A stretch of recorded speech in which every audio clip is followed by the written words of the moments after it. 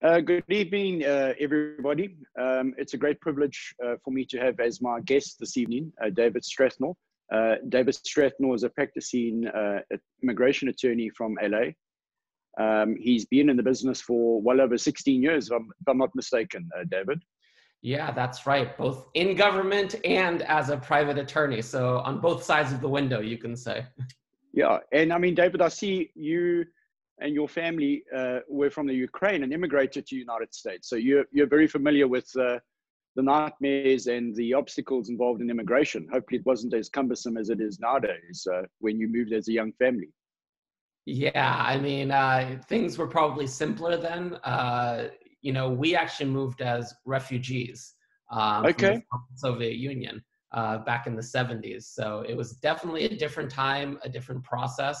Uh, but you know, immigration is near and dear to my heart because it's a it's a personal experience for me as well. And you know, I'm very Absolutely. happy to, to yeah. be helping. And then David, yeah, sure, yes. David. And then I mean, a little bit of further about your background. I mean, you're a member of the uh, Immigration Lawyers Association.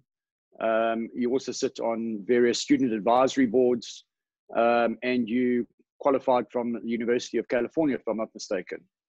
Yeah, yeah, that, that's right. That is right. But more importantly for me is that you had quite a long history in the diplomatic corps, um, where you established like really good relationships uh, and great got a greater understanding of what actually happens at the consulate aspect. Um, and I certainly know in our experience uh, engaging with you, um, where we've had some sensitivities, you've got great insight. Do you want to maybe just tell us a little bit about your experience in terms of the um, diplomatic aspect, um, where you served in several several countries? Sure, absolutely. So um, prior to my returning to private practice um, about five six years ago, I worked for the U.S. Department of State for ten years uh, as a consular officer and, and, some other positions as well. So I'm sort of intimately involved uh, or have intimate experience of the visa process from the inside. Um, so I understand sort of the terrain. Um, a lot of times when clients, applicants, petitioners have problems uh, with the the visa process, uh, especially when you get to U.S. consular posts abroad, it's all just a black box. Nobody really knows what's going on, why decisions are made. Uh, yep. You know, the Department of State does a very good job of keeping that information from people. Uh, and yep. so you know, and, and, you and I, Stuart, we, we've worked together for a while now. Uh, you, you, know that there's been certain cases where, you know, clients or, or applicants have run into those situations. And I'd say there's two aspects to what I do. Um, one is, yeah, I do still have close ties to people inside of the diplomatic service and consular services, which helps at least establish a line of communication. Uh, but even more importantly, I think is the inside knowledge of just how it works and sort of yep. what, where where to push, where not to push, what can be done, what can't be done, and in a situation where something can be done, uh, you know, I have a pretty good idea of, of how to do it, of how to get yeah, from no, A to B without no, ruffling sure. feathers. You know. yeah, no, we we've certainly had a, a, a couple of interesting cases, and I mean, you've always come to my rescue. In fact, in one or two cases, I've moved files from uh, other filing attorneys across to you just because I knew you had the skill to be able to uh, make sure that it popped out on the other side.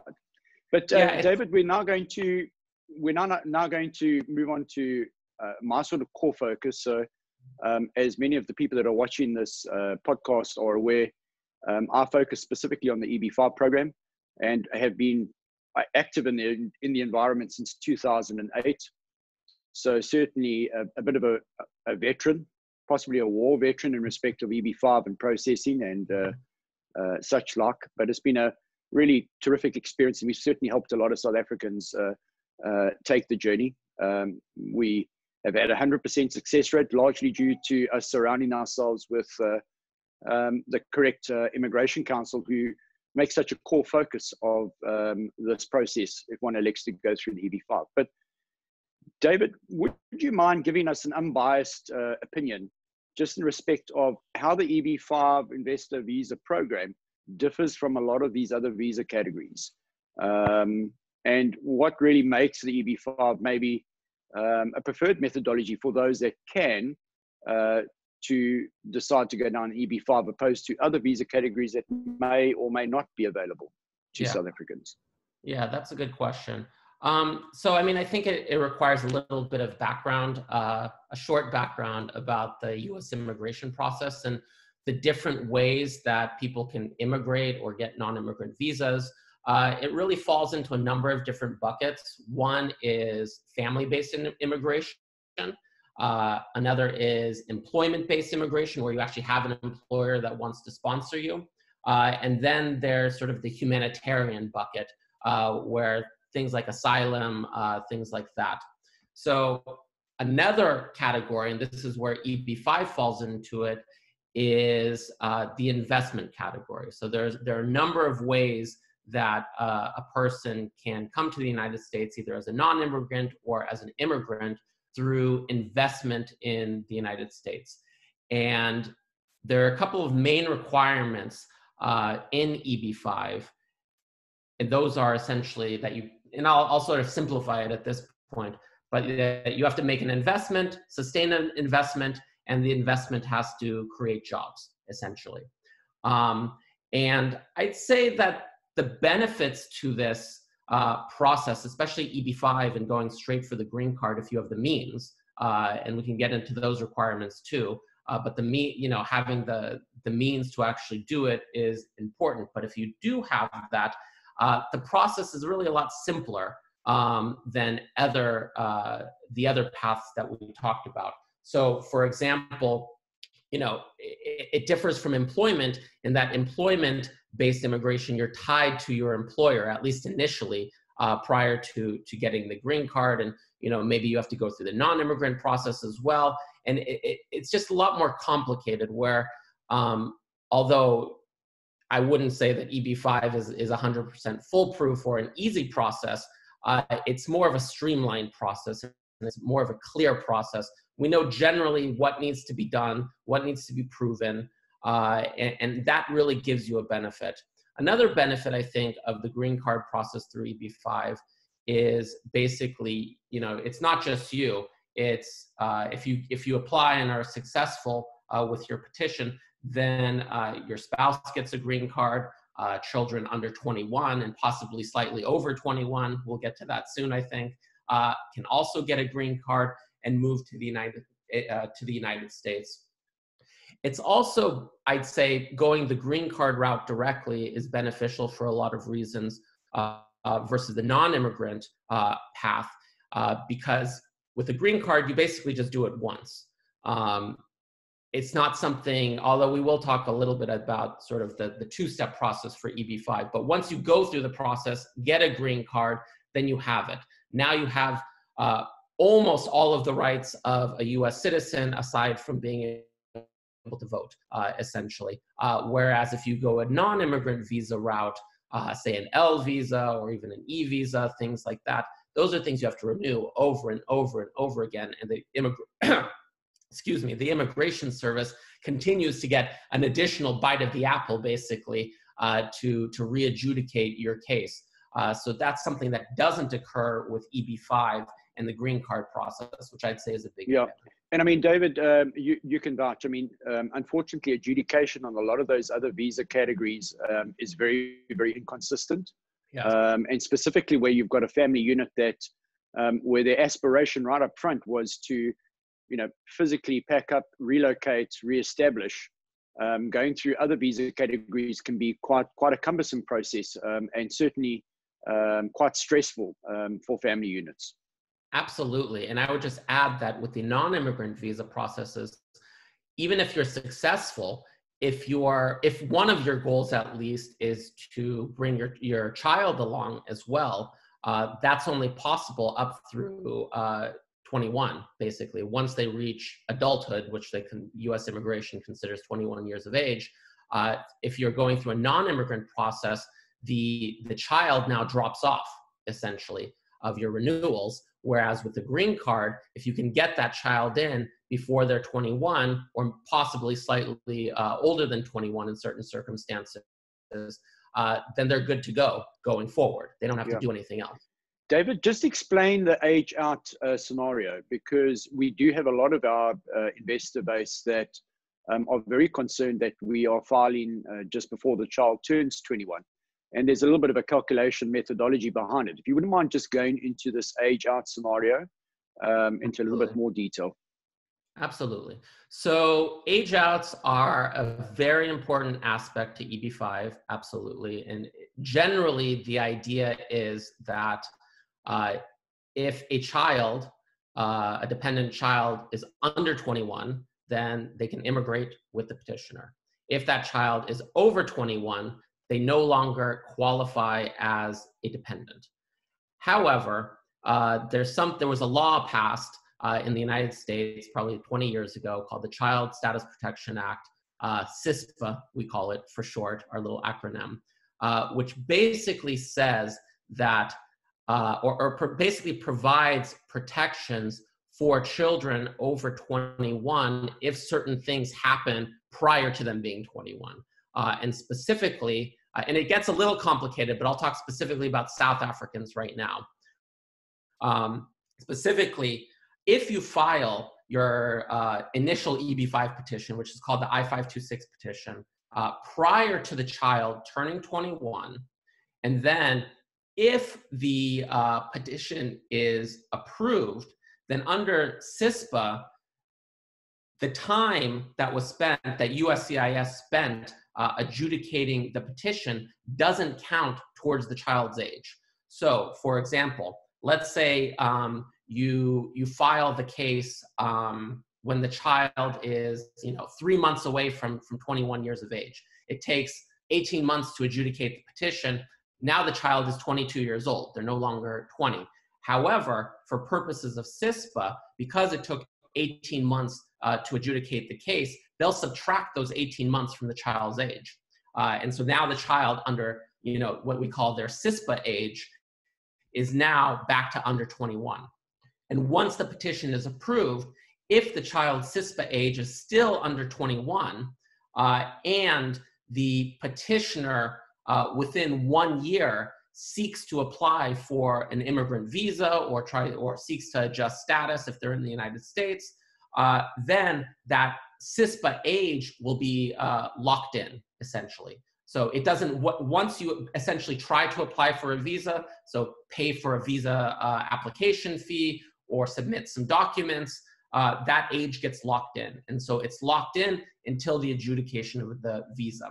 One big uh, caveat to that, and this is where it gets a little bit more complicated, is this is only true as long as uh, the visa category, so EB5 specifically, is not backlogged, meaning that uh, the nationality in question uh, does not have to wait in a line for a visa after the petition is approved. And there's a number of nationalities that do have to do that, with, for example, Chinese nationals or Vietnamese nationals or possibly Indian nationals in the future. Right now, I believe it's current. Luckily, uh, for everybody else, including South Africans, that's not the case. They're not standing in a line uh, to get a visa after their petition is approved. And so for them, CSPA would be completely uh, valid and in place and give protection to, to dependent children. That's great, uh, David. Uh, that's that's a really good explanation. Um, often it's um, something that we have to go into detail with a lot of our potential uh, investors. Um, what is interesting, on, I, I, will just say one thing because yes. going back to our conversation about uh, you know difficulty with consulates uh, and sort of where I've gotten involved with with some cases and we've worked together in the past, as you know, is it's it's the CSPA issue exactly, which is Correct. so confusing. It's confusing to some attorneys, and it's confusing, frankly, to a lot of consular officers at diplomatic yep. posts, and they constantly and unfortunately this is something that happens in south africa at the consular post yep. um, where they just get confused about CSPA and they'll tell you that no, this child does not qualify for uh, a visa as a dependent because they've aged out when clearly they haven't and they just don't understand yep. the rules. And so, you know, it, part of what I do as well is just, you know, because I have good offices with a lot of consular posts, is is I'm able to just explain things to them and, and uh, communicate sure. things to them in order to sort of resolve these tricky issues. And it's not really their fault. I mean, they're all very smart people. It's just these are really complicated issues, and they're not lawyers by training. They don't even know all of the rules all the time. No, sure. David, um, and then following on from visa availability, um, I mean, we're, we're, we're very fortunate in South Africa that we do have visa availability. Um, and does that, does that help in any way from an adjudication aspect? Does it speed up uh, an EB5 process? I mean, is there priority given to countries like South Africa? Um, I know that there was some um, news that broke um, a couple of months ago where they would give priority um, in terms of adjudications to countries that had visa availability? Yeah, I mean, this has actually been great progress on the part of USCIS. Uh, historically, that has not been the case. Uh, historically, all adjudications have basically been uh, just first in gets adjudicated regardless of nationality and regardless of whether, you know, even if the case gets adjudicated, you have to wait 15 years for a visa, like Ch- Chinese nationals, or maybe 10 years for a visa. Uh, USCIS has streamlined somewhat, and now their current uh, policy and position is that uh, there's basically a two-tier adjudication system uh, where countries like uh, for Chinese nationals or Vietnamese nationals, where there is a significant backlog, China, China mostly, uh, those cases will essentially be held. they're not going to give priority adjudication, and they will instead give priority adjudication to countries where there is no backlog. And so when you look at the normal processing time uh, for USCIS on their website, you'll see something just crazy and outrageous, like, you know, 36 to 48 months processing time for an I-526 petition. But the thing to understand is that that's an average processing time, uh, including everybody, whether you're backlogged or not backlogged. Uh, where with this new policy, what we're seeing is that non-backlog countries are actually being adjudicated a lot faster uh, than backlog countries. And so that's a great benefit to South African nationals because, you know, instead of waiting the 36 to 48 months, which is the average, uh, although we can't pinpoint an exact processing time, you know, it's probably more in the ballpark of between 12 and 24 months, maybe even less depending on the project you pick. Correct. Uh, yeah, David. I mean, um, certainly we we um, monitor our adjudications. We've recently had a batch that came through in 30 months, which was most probably record time in terms of current circumstances, but typically around the 20 months in terms of what we uh, mentioned to our, our investors as an expectation. Yeah. Um, David, in terms of COVID, um, we obviously assume that there have been some slowdowns. Uh, thankfully, the, the furloughs um, issue seems to have been addressed. Do you see um, immigration timelines, adjudication specifically on the EB5 investment visa improving? Um, um, I'd say it's a two-part question. You have to look at uh, both the, the domestic USCIS side for the adjudication of petitions. Um, I think that that's less um, dependent on COVID. I know a lot of USCIS employees during the quarantine were working from home, and that just naturally slows down things. But I, I don't think yep. it was a significant slowdown. Um, you know, one good thing, the furloughs with USCIS, USCIS never happened. Uh, Congress just passed a law uh, that basically, through increased premium processing fees, although EB5 doesn't get premium processing, but through those fees, uh, it seems like that's going to at least secure the finances of USCIS so that they don't have to furlough people in the future. And hopefully, you know, at least the, the adjudication processing times will stay the same. Uh, that would be my hope. And if they improve, then that, that would be even, even better.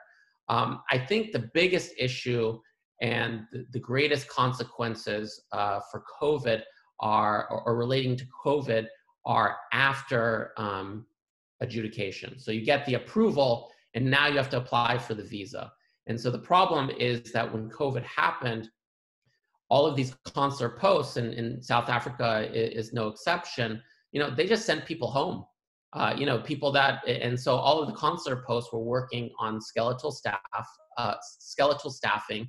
Uh, they just, you know, suspended all normal visa processing. uh, you know, hopefully now that things uh, seem to be turning a corner a little bit into 2021, uh, people will be coming back, the staffing will increase, and, and they'll adjudicate again. Uh, but you know, I can't. I have. I have to be honest that, of course, COVID is, making it making it a lot more difficult uh, to get a an appointment. Essentially, once you get an appointment, the visa isn't. You know, it's not a huge issue. But uh, you know, just being able to get an appointment, getting NVC to uh, move your case forward to the visa stage, uh, COVID definitely is affecting that. Yep. Um, David, I wanted you just to elaborate a little bit um, on the re-entry uh, visa uh, or re-entry uh, waiver. Um, a lot of our South Africans will activate a green card, but um, may need to remain in South Africa to maintain business uh, affairs going. Do you want to just explain the methodology of making application for a re-entry permit um, sure. to those that would would like a further clarification on exactly what it is and what its benefits are in terms of the maintenance of a green card post uh, your first arrival? Absolutely. So one of the key things once you get a green card uh, you become a lawful permanent resident of the United States, and that has certain requirements if you want to keep that lawful permanent residence. Uh, and that's what's known as maintenance of status. And so, through maintenance of, status, you basically have to show that you have sufficient ties to the United States and that you maintain those ties uh, to meet the requirements of keeping the green card. So, there's a number of ways to do that uh, for people who you know initially don't want to move to the United States, uh, but aren't planning on on being absent for you know more than a year or two, uh, maybe just you know six months at a time. There are things you can do. You you don't need a reentry permit at that point. Uh, as long as you come to the United States at least every six months for a visit, uh, and are maintaining status in other ways, such as uh, make sure you're paying your taxes uh, because there, there are tax obligations once, once you become a lawful permanent resident of the United States. Uh, and then there are other things. You have a driver's license. Do you have a house? Do you have, you know, these sorts of things. They want to know that you have some connection to the United States. Now, if you're not able to do that, and with COVID, travel is a lot more uh, complicated these days, so, so many people can't do that although there are there's a lot more leeway that CBP is giving or Customs and Border Protection uh, is giving to people relating to maintenance of status because of COVID. Uh, that notwithstanding, if someone just you know wants to get the green card but is not able to maintain their ties initially, or maybe at some point they need to go back, there is something called a reentry permit um, that you can apply for, and it basically gives you automatic maintenance of status, let's call it, uh, for a period of two years. And you don't have to uh, maintain, so you now you don't have to come in every six months. You have this, uh, this little book, which is a reentry permit. It looks like a little passport. Uh, and you can use that to come in and out for a period of two years, and they won't question you about your maintenance of status. It basically gives you the automatic maintenance of status for, for a period of two years. Um, the issue, though, is you can't apply for it unless you're in the United States. So it can't be a situation where you get the green card, you come in, you leave, and you want to apply for a reentry permit once you're back in South Africa. No. Once you immigrate, uh, if you have plans for leaving for quite a while and you think you'll need the reentry permit, you need to at least be in the United States while you're applying for it. Uh, yeah. It could be just a couple of days, even uh, because sure. USCIS will keep records of that. And as long as you do that, then you know it's not really that huge of an issue uh, to get a reentry permit. They usually issue them pretty freely. Yeah, I mean, David, like yourself, I mean, we continuously recheck with investors as they go through um, the various steps. And mm-hmm. typically, um, once they are approved and making that first entry, that's normally where we address and say, let's understand what the family's objectives are in right. terms of this first entry. You know, are half of you staying um, and going to set up home and enroll kids into schools? Um, or is it that you're just simply going across to activate and going to remain here in South Africa for a period of time while you wrap up uh, business affairs? So, um, and it's very important. You. It's very important to, to keep those ties and to understand what people are doing and to sort of stay ahead of it uh, because you don't want people to like make an entry and they haven't been in the United States for for you know nine months or a year and a half or, or something yep. like that because there are actually things that you can do to to make that entry more simple uh, or or to make it more streamlined. You know, there are ways sometimes at, at certain airports, LAX where we are is one of them, where if it is a complicated entry relating to maintenance of status, you can actually submit uh, the the situation, the case for sort of a pre-adjudication uh, with the leadership at, at LAX. It's it's just a service that that they provide to to the lawyers that they're close to, uh, and, and, it's great. I mean, we've used it a lot, and it, it sort of eliminates the risk and the stress of flying to the United States when you don't know if they're going to let you in or not. Yeah.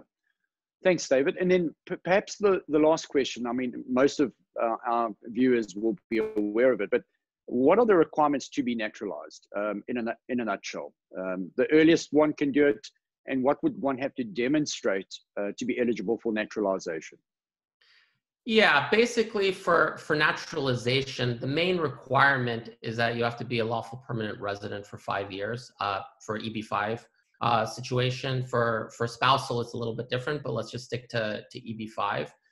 Uh, and you have to have been physically present in the United States uh, for a significant amount of time. So that's when you get into the situation that we've been talking about before. So if you got your green card, you have it for five years, but you've been in South Africa most of that time, um, you you know you might not be able to naturalize at the moment that you want to naturalize. So you know it's it's inherent to uh, or important to be in the United States as much as possible without any um, you know long periods that can uh, sort of cut off the the the, the, the time period that that uh, counts towards your naturalization. Uh, and that's you know it's a lot of it is a case by case situation. We have to sort of look at each each client separately, but sort of to keep it simple, it's it's five years and be in the United States for a significant amount of time. And then of course, when you take the naturalization test, there are other sort of uh, cursory requirements, like you have to take a test about American politics and government and civics and things like that. Oh, that's English interesting. yeah, yeah, it's a, it's a, it's a real thing. Uh, you, you have to study. Uh, even my my parents, when they naturalized back in the '80s, uh, they had to take the test, and I remember, uh, you know, as a seven, eight year old kid, um, helping them study for the test. Yep. it was things that I was learning in school, like, you know, who's the first president and, and the form of government in the United States. So uh, it's still there. It's still something you have to do. Uh, but naturalization tends to be relatively straightforward, uh, especially if you've, you know, been in the United States. Sure. And I mean, just to clarify, I mean, there's no urgency to be naturalized. You know, from the day that you make that very first entry, uh, you're deemed to be a permanent resident. Um, so, you know, you don't have to physically be naturalized at the end of uh, five no, years. No, no, no, no. Um, There's people that, that, that stay on green cards for a long period of time for whatever correct. reason. They don't want to naturalize, and that's totally fine too. Great. And then final question. Uh, we have the elections coming up. uh, I'm sorry, I'm not across the. I, I got stuck here in March on my on my return, but jeepers, it must be uh, quite an interesting uh, um, roll up to to the final day. What it's happens post elections? it's definitely surreal following the election in the United States. Um, you know, uh, I mean, I'm not a political pundit, but um, I think the writing is on the wall on what happens next with the election. I mean, it, it depends on who wins. I mean, if if the the current president wins a second term, then I think you, you could expect more of the same, which is uh, restriction on immigration here in the United States. I mean, this, yep. this administration is not shy uh, and is not making a secret that you know they wish to restrict immigration uh, in all yep. forms. Uh, EB5, I will say, has uh, been spared for the most part. There haven't been, aside from you know the the uh, the new regulations, which you know are a little bit problematic, but you know they're not cutting it off. There's no travel bans for for EB5. Sure uh, which is the tool that, that this administration loves to use. Um, so if he wins, then I, would say so, so more of the same and probably worse. Um, yep. Probably even more restriction. Uh, if he if Biden wins, uh, you know, the good thing about it is that you know there will be probably a reversal with with the restrictionist policies, and it'll be quite quick, I would imagine, because yep. you know the good thing about it is that everything that the administration, the current administration, has done has not been an act of law. There has been no, uh, for the most part, uh, in terms of these restrictions, uh, there's been no act of law passed on by Congress that the president has signed relating to uh, immigration restriction. This has all been done by either executive order um, or by regulation, which is all an administrative process, which means that it can be quickly rolled back. So, for example. Biden wins on January 20th, on day one, literally right after the election, because this happens every time there's a change in power. Um, pretty much I'd say all of the executive orders will be repealed at the stroke of a pen uh, by, by a new president. Uh, and the regulations will probably take a little bit longer. It'll probably take, you know, six months to roll back regulations yep. that they want to roll back. Uh, but I'd say within a year, uh, it, it, would happen with a new administration. Now, changing the culture of the, the immigration agencies, that's a little bit different. Uh, yep. It takes a little bit more time. Uh, but you know, I, I would expect a rollback with with the President Biden. Yeah, I I I, I log into those Senate committee Senate com- committee hearings quite often, um, and it's it's it floors me uh, when I see the submissions that come from the USCIS to various senators who um, don't actually understand what is being presented to them. But it is what it is. It it is definitely. Yeah anyway, David, I think that's that's that's been a great chat. I, I really appreciate your time, um, and uh, you know we're going to have this video now um, publicized on our various blogs, um, and we're also going to have your contact details for those South Africans that want to reach out directly for, for additional guidance. But uh, that was great. I really appreciate your time. I think we covered a number of uh, um, items that are, would be of interest to our investor base. So once again, thanks very much. Yeah, thank you so much. It's been a pleasure, and thank you for having me. And uh, you know, we'll see what happens with this election going forward, and hope, we'll hope yep. for the best on on immigration. And uh, you know, I look forward to speaking with you again next time. Perfect. Thanks very much, David. Take care. Right. Okay. Bye bye.